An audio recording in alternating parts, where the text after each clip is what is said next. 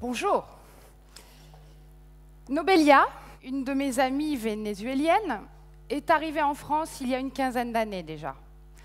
En plus de découvrir notre vocabulaire, elle s'est amusée à comprendre nos différentes métaphores et transformations linguistiques.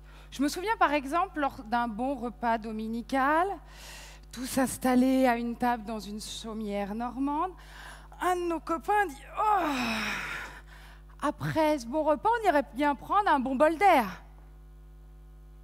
Nobelia nous regarde. Un quoi? Alors elle nous imaginait courir dans la cuisine. Moi, je prends le saladier. Moi, je suis en grande forme. Je vais prendre juste la tasse à café. Bah, euh, Nobelia aurait pris la tasse de thé pour le matin. Bon, cette tranche de vie est amusante. Elle nous rappelle à quel point notre langue est pourvue de malice, de surprise. Mais le plus important à retenir aujourd'hui, c'est le sens de cette phrase. Un bon bol d'air. Qu'est-ce qu'on souhaite aérer?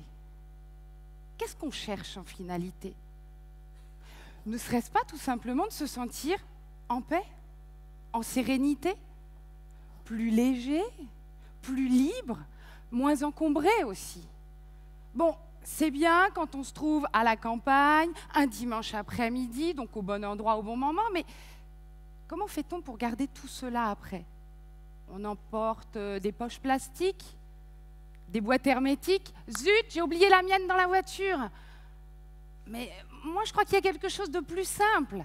Dîner depuis notre plus jeune âge, accessible partout, partout, qu'est-ce que soit votre taille, votre poids, votre âge, le rire Lors de mes stages de formation, en, je sais pas, des managers, des commerciaux, euh, enfin de tout domaine, je pratique régulièrement des ateliers du rire. On me dit Delphine, la rigologie, moi j'en ai pas besoin, je raconte très souvent des blagues. C'est bien, très drôle.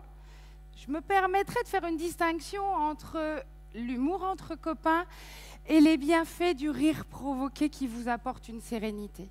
Mais avant d'aller au-delà, puisqu'on en parlera cet après-midi, je rappellerai qu'autour de la ligne du rire, il y a plusieurs niveaux plusieurs étapes, tout aussi importantes les unes que les autres.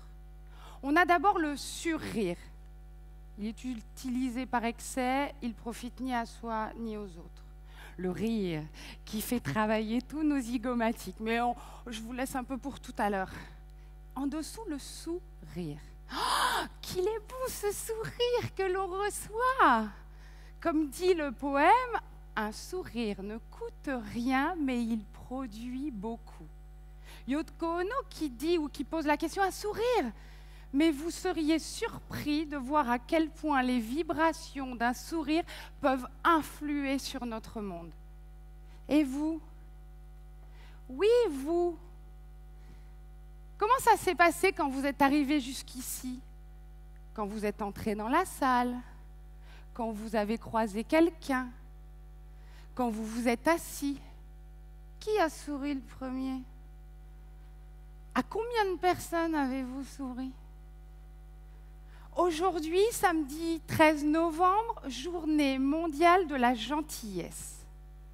C'est-il pas, je viens de Normandie, c'est-il pas la meilleure journée pour s'offrir un bouquet de sourires? Non, non, non, non, un bouquet avec des sourires. On va sourire à la personne qui est devant nous, à la personne qui est derrière vous, celle qui est à votre gauche, celle qui est à votre droite, même le jeune homme qui est au fond là-bas, qui dormait tout à l'heure, j'espère qu'il est réveillé. Quand on va le réveiller, on va lui dire Bonjour, ça va Allez, un, on s'offre un joli bouquet à tous. Un, deux, trois. Bonjour, ça va? Bonne journée, merci d'être venu. Bien, j'en vois pas là-bas, je vois pas vos sourires, c'est sûr, encore un dernier. Allez, un, bonjour. Ben, merci pour cette mise en bouche.